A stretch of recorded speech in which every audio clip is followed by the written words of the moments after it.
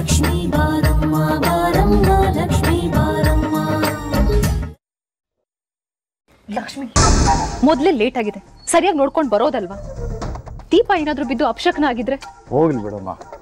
ಯಾರಾದ್ರೂ ಬೇಕು ಅಂತ ಮಾಡ್ತಾರ? ಪಾಪ ಮಗು ಕಾಲ್ ಎಡುವಿದೆ. ಒಂದ್ ನಿಮಿಷ ಒಂದ್ ಸೆಲ್ಫಿ ತಗೊಂಡ್ಬಿಡ್ತೀನಿ. ಎಲ್ಲಿ ಕಂದ? ಹಾಗೆ ದೀಪ ಇಟ್ಕೊ. ಒಂದ್ ಸೆಲ್ಫಿ ತಗೋತೀನಿ. ಹಾ? ಇಲ್ಲ ಏನಾದರೂ ಅಪಶಕುನ ಆಗುತ್ತಲ್ಲ? ಅದಕ್ಕೆ ಗಾಬರಿಲಿ ಹಾಗೆ ಹೇಳಿದೆ. ಐಮ್ ಸಾರಿ ಸಾರಿ ಬನ್ನಿ ಬನ್ನಿ ಪ್ಲೀಸ್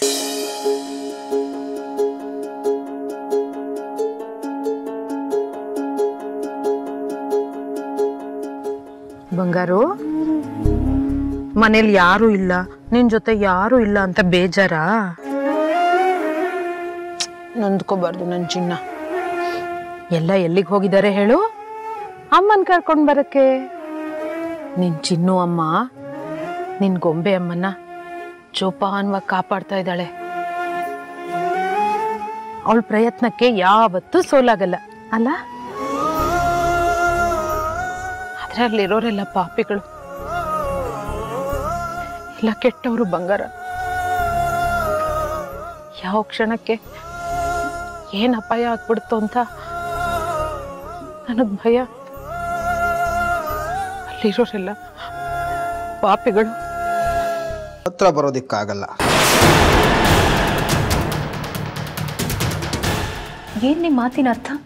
ಅದೇ ಅಮ್ಮ ನಿಮ್ಮ ತಮ್ಮನ್ನ ಯಾವ ಬಿಸ್ನೆಸ್ ಮೇಲೆ ಆಚೆ ಕಳಿಸಿದಿರೋ ಆ ಬಿಸ್ನೆಸ್ಸಲ್ಲಿ ಯಶಸ್ವಿಯಾಗಿ ಅವನು ಇಲ್ಲಿಗೆ ಬರೋದು ತುಂಬ ಸಮಯ ಹಿಡಿಯುತ್ತೆ ಎಂದೆ ಪಾಪ ನಿಮ್ಮ ತಮ್ಮ ಹ್ಞೂ ತುಂಬ ಕಷ್ಟಪಡ್ತಾ ಇದ್ದಾನೆ.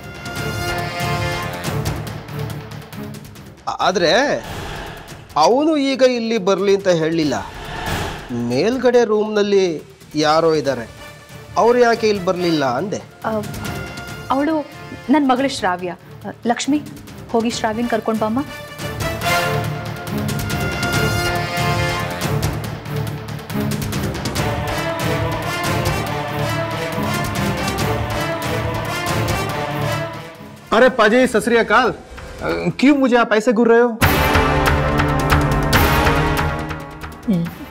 येल्लो येल्लो नोटी देने।